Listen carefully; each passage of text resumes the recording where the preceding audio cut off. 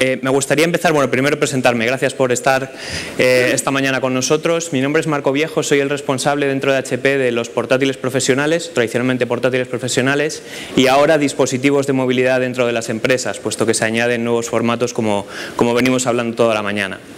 Lo primero que me gustaría hacer es romper dos mitos. El primero de ellos es que HP llega tarde en el mundo de las tabletas. No sé si alguno de vosotros os acordáis de este dispositivo, que es el el TC1000 lo sacamos en el año 2002, hace más de 11 años que tenemos este dispositivo en el mercado y eh, ya era revolucionario en su día. Y esto ya lo podía separar la parte del teclado de lo que era la tableta, una interfaz táctil, hace 11 años que lanzamos este producto al mercado. Entonces, primera lanza, HP no llega tarde al mundo de las tabletas, sino que hemos tenido pues, un largo recorrido, sobre todo en el mundo de la empresa.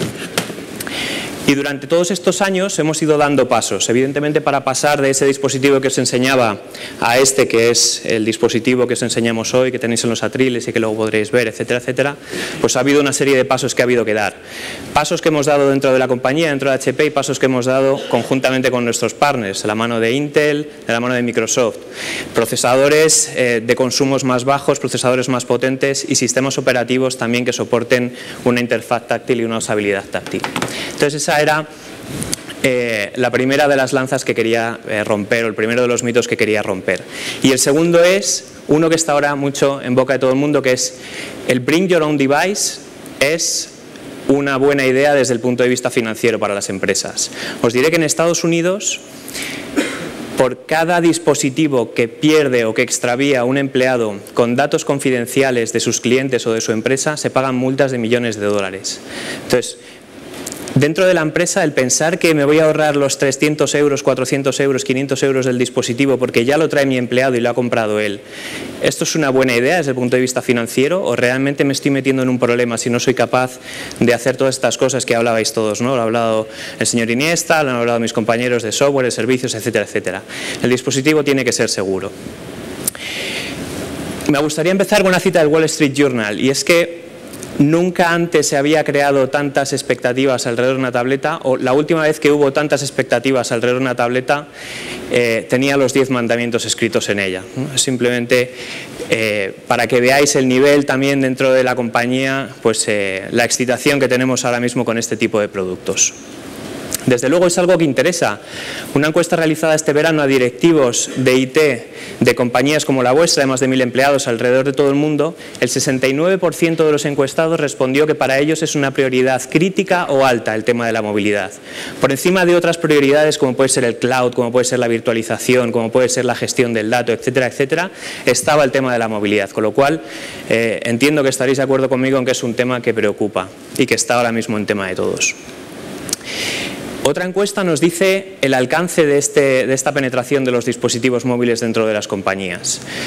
Una encuesta de eh, enero del 2012 nos dijo eh, los entrevistados eran también gestores del departamento de IT, nos dijeron que el 89% de los empleados de las empresas tienen dispositivos tipo smartphone o tipo tabletas y que además acceden a contenidos corporativos con ellas. El 78% dijeron que se ha duplicado en los últimos dos años y en algunos países en concreto se ha multiplicado por cinco el número de dispositivos móviles dentro de las empresas. Y dispositivos móviles, insisto, eh, accediendo a contenido de la empresa. El 71%, y esto es lo más preocupante, el 71% aseguraron que los dispositivos móviles han contribuido al aumento de los incidentes, eh, digamos, de seguridad. Y el 72% aseguraron que hoy por hoy están más preocupados por el extravío de un dispositivo móvil que por el ataque de un hacker informático. O sea que fijaos también la importancia, ¿no? La información corporativa en los dispositivos móviles, todos lo habéis venido diciendo a lo largo de la mañana. Yo no quiero tener un smartphone o una tableta si al final no me sirve para eh, poder ver mi correo corporativo, poder acceder a mis aplicaciones corporativas, en fin, eh, realizar mis tareas diarias con ese dispositivo. Entonces, el 79% de estos dispositivos tienen el correo electrónico corporativo, el 65% tienen contactos de clientes, contactos de negocio, acceden a la información confidencial de nuestra empresa y esto es muy preocupante por lo que os comentaba. Multas millonarias ya por eh, dispositivos extraviados sin ningún tipo de seguridad y que al final contenían pues, eh, datos de mis clientes o datos confidenciales de mi compañía. Por lo tanto, vamos a eh, racionalizar de alguna manera la consumerización, es decir, hay que atender a las necesidades de nuestros usuarios, yo creo que en eso estamos todos de acuerdo, pero a la vez no hay que dejar de lado las necesidades del departamento de IT. ¿Cuáles son cada una de ellas? Yo creo que Jesús lo ha hecho perfectamente al principio eh, con el caso práctico que le ocurre a él en Bankia. ¿Qué es lo que necesitan los usuarios? Pues los usuarios lo que buscan es diseño y rendimiento, básicamente. Que puedan hacer uso del dispositivo tanto en casa como en el trabajo. Que la experiencia de usuario sea muy parecida a lo que demandan en el, en el mundo de consumo, ¿no? pues aplicaciones muy gestuales, un botón único, todas estas cosas que venimos hablando durante la mañana. Sin embargo, los requisitos del departamento de IT no han cambiado en muchísimos años, siguen siendo los mismos. Tiene que ser un dispositivo seguro, tiene que ser un dispositivo gestionable, tiene que ser un dispositivo integrable dentro de mi parque eh, informático dentro de la compañía, tengo que tener disponibilidad global, puesto que mi empresa está en varios países, eh, tengo que tener un soporte y un servicio, tengo que tener una estabilidad de la plataforma, no puedo encontrarme cada vez que voy al mercado a comprar un dispositivo que ese dispositivo sea diferente, porque al final es ingestionable. Necesito además tener una estrategia de movilidad. Yo creo que eh, con las intervenciones de todos mis compañeros os han eh, dado un, buen baño de lo que es una estrategia de movilidad y además tiene que haber una inversión y una amortización de dicha inversión. Lo que queremos hacer en HP es dar, digamos, servicio a ambas necesidades, darle a los usuarios los equipos atractivos, sexys, llamativos, usables, potentes, eficientes, etcétera, etcétera, que están demandando, pero a la vez que sean equipos seguros, fiables, gestionables, con ciclos de estabilidad larga, con disponibilidad global, con el servicio y la garantía HP, etcétera, etcétera. Es decir, dar respuesta a ambas necesidades simultáneamente y hemos creado un portfolio espectacular, inmenso, de verdad, con un montón de dispositivos diferentes que eh, afrontan, digamos, esta consumerización racionalizada. Ahora os hablaré de ellos, pero claro, nos queda una duda. Entonces, con tantos dispositivos, con tantos formatos, con, tantas experiencias de usuario diferentes, ¿cuál es la que eh, tengo que dar a mis empleados? ¿Un smartphone, una tableta, un convertible, un ultrabook, una mezcla de todos ellos? O sea, al final tenemos que fijarnos en dos cosas muy básicas. Uno, ¿qué tipos de usuarios tengo y qué tipos de usos doy? Tipos de usuarios hay los que eh, consumen eh, información y hay usuarios que generan información o consumen contenidos y generan contenidos. Yo creo que rápidamente vosotros identificaréis dentro de vuestras compañías qué perfiles de usuario tenéis que sean generadores de contenidos y qué tipos de usuarios son consumidores de contenidos. Pero aún hay más, hay tipos de usos diferentes. Hay usuarios que son ejecutivos, hay usuarios que son viajeros muy frecuentes, que tienen una altísima movilidad. Tenemos los usuarios ofimáticos tradicionales que hemos tenido siempre, tenemos usuarios avanzados que a lo mejor están realizando lo que es el, realmente el core de nuestro negocio, están diseñando aplicaciones o están eh, haciendo, son arquitectos, están diseñando edificios, etcétera, etcétera. Y luego tenemos dentro de cada empresa proyectos específicos, tenemos verticales, eh, eso es un tipo de uso totalmente diferencial. Entonces, como os decía, el portfolio es inmenso. Tenemos todos los formatos, todos los tamaños, todos los pesos, todos los colores y todos los sabores, ¿no? como decían. Pero me gustaría, ya que no tenemos mucho tiempo y además tenemos eh, luego tiempo de hablar durante el cóctel y que veáis los productos, quería fijarme únicamente en tres productos que además representan, digamos, son iconos de tres conceptos de producto totalmente diferenciales hoy por hoy. El primero es un Ultrabook. Un Ultrabook 100% profesional. Sabéis que el Ultrabook al principio llegó desde el mundo de consumo, se fue metiendo en la empresa precisamente con este fenómeno de la consumerización pero estábamos dejando de lado los requisitos de IT que os comentaba antes. Cosas que necesitamos en la empresa, el que la batería sea reemplazable por el propio usuario, el que tenga el 3G integrado, el que tenga un conector de VGA o de RJ45, son cosas que nosotros siempre hemos tenido en los portátiles profesionales, pero que ahora que vienen este tipo de dispositivos nuevos, muchas veces heredados del mundo del consumo, vemos que no casan exactamente con lo que es la necesidad de la empresa. Entonces, todo eso lo tenéis en este equipo. Un Ultrabook de 14 eh, pulgadas con el 3G, con la batería reemplazable, con VPRO, lector de Smart Card, lector de huella dactilar, absolutamente todo lo que necesitas en tu dispositivo, docking profesional, etcétera, etcétera. ¿vale? Yo creo que lo conocéis porque no es realmente una novedad, digamos, de este mes, lleva un par de meses o tres meses en el mercado, un producto muy, muy destacable. El segundo, evidentemente, es la tableta. Y con la tableta eh, yo creo que hemos conseguido exactamente lo que, os, lo que os decía al principio crear el dispositivo que el usuario desea, porque no tiene absolutamente nada que el usuario de iPad pueda echar en falta en este dispositivo. Es decir, es más fina que un iPad, es más ligera que un iPad, es más dura que un iPad, más elegante si me permitís que un iPad, pero a la vez es arquitectura x86, es decir, encaja exactamente con lo que tenéis en la empresa. Es sistema operativo basado en Microsoft, es Windows 8 profesional, con lo cual, como os decían los compañeros, el ahorro que tenéis que hacer o la inversión o el tiempo que tenéis que invertir en que las aplicaciones que están funcionando y manteniendo vuestro negocio funcionen en esta tableta es mínimo. No tenéis que hacer grandes inversiones para introducir dispositivos con sistemas operativos o con aplicaciones o con arquitecturas diferentes. Ya lo tenéis en este dispositivo y además es un HP Elite con lo que ello conlleva, es decir, dentro de la gama de portátiles profesionales es lo más alto de, la gama, con lo cual todo el mensaje de seguridad, de gestionabilidad, de eficiencia energética, facilidad de uso, todos estos mensajes que siempre contamos con nuestra plataforma Elite, pues está plasmado en esta tableta. Pero además no nos hemos querido quedar solo en eso, es decir, no hemos querido lanzar una tableta eh, que sea tan bonita o tan ligera como el iPad. Hemos querido dotarla de una serie de accesorios alrededor de la tableta que den soluciones para esos verticales que os decíamos. Accesorios que os resumo eh, muy rápidamente. Uno es la docking, o sea, ¿quién entiende dentro de la empresa un puesto de usuario sin tener tu docking? para tener tu teclado, tu ratón, tu pantalla eh, de 25 pulgadas, tu conector de RJ45 para estar conectado a la red, eh, tu Kensington para tener el puesto securizado, etcétera, etcétera. O sea, un puesto de usuario completo, simplemente tú llegas, colocas la tableta y estás trabajando en tu puesto de usuario.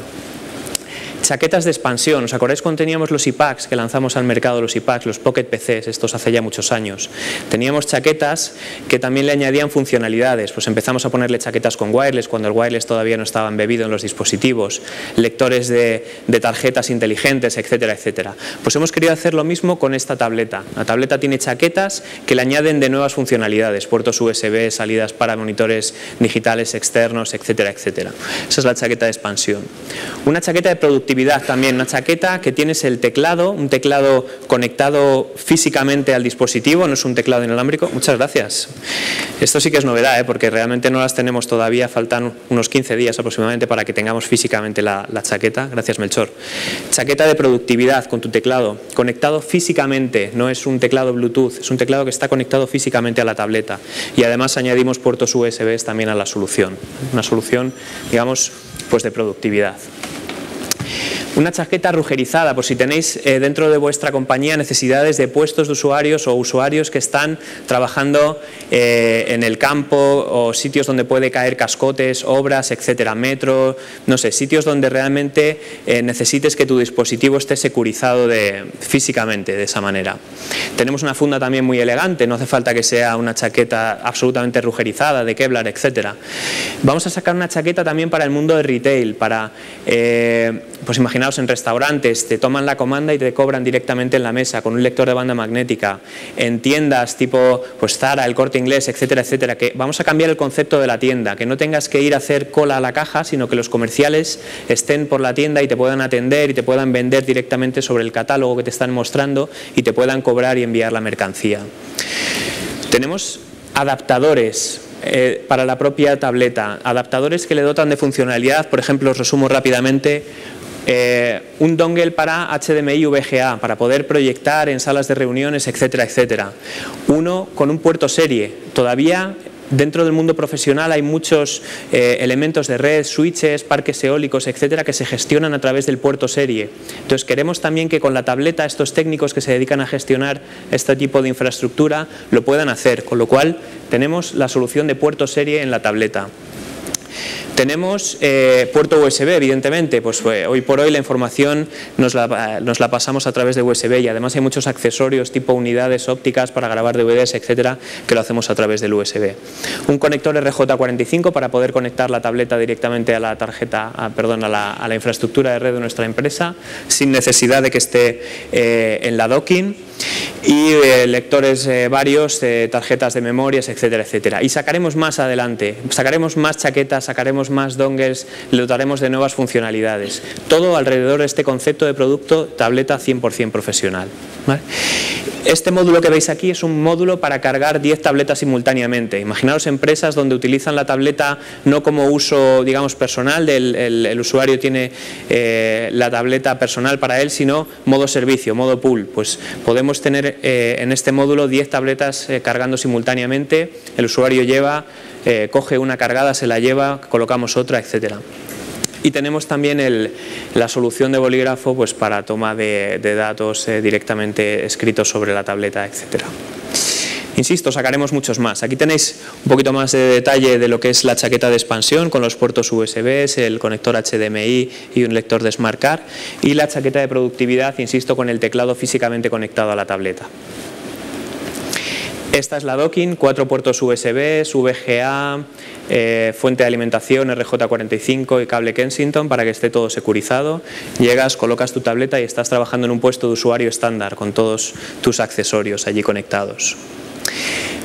Y además, insisto, por ser un producto HP Elite, tiene todo lo que veníamos eh, comentando durante la mañana, es decir, la gestionabilidad de un dispositivo profesional dentro de la empresa. Podemos hacer cosas en la fábrica como por ejemplo la activación masiva de los 3Gs.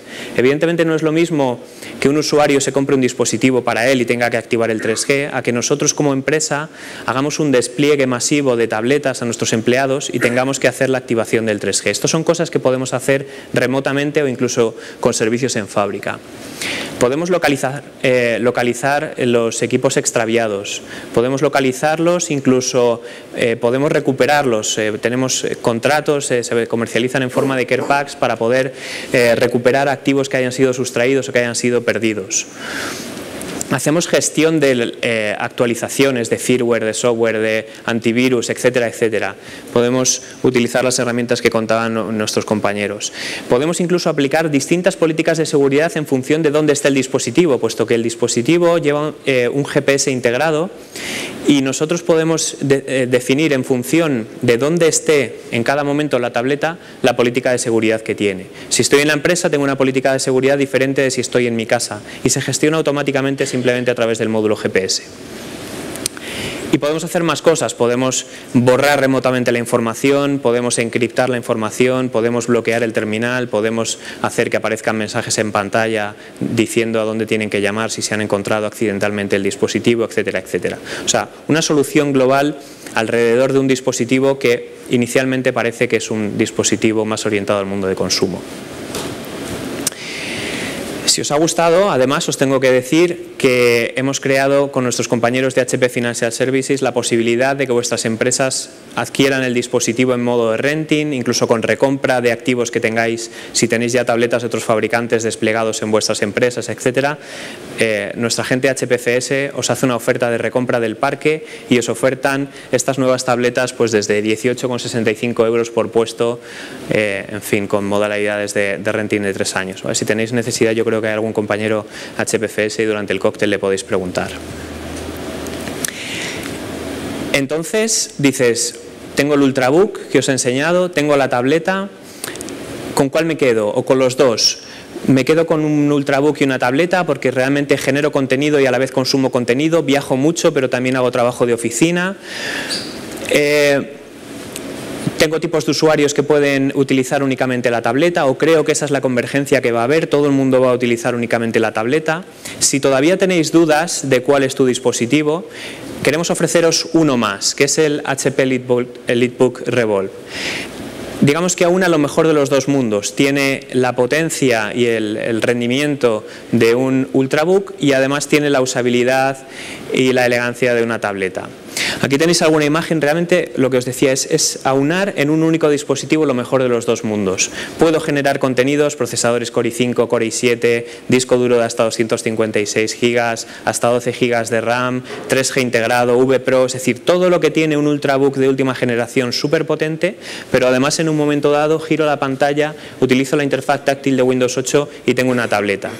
Dos dispositivos en 1,3 kilos eh, y con, con los rendimientos que os decía. Entonces, beneficios para los usuarios porque tienen un dispositivo que es súper atractivo y que además les facilita su día a día y beneficios para IT porque es un HP EliteBook, porque tiene la estabilidad, porque tiene la seguridad, porque tiene la garantía, porque tiene el soporte, porque tiene el ciclo de estabilidad, etcétera, etcétera. ¿vale? Lo mejor de los dos mundos en un único dispositivo. Eh, tenemos el cóctel, preguntadme todo lo que necesitéis, de tendencias, de cómo vemos en HP los dispositivos, etcétera, etcétera. Tenéis allí una pequeña muestra, hemos traído un Revolve, hemos traído el 9470, tenéis tabletas y simplemente daros de nuevo las gracias. Espero que haya sido interesante, que os hayamos eh, dado algunas pinceladas y que haya sido productiva la jornada. Nada más, muchísimas gracias.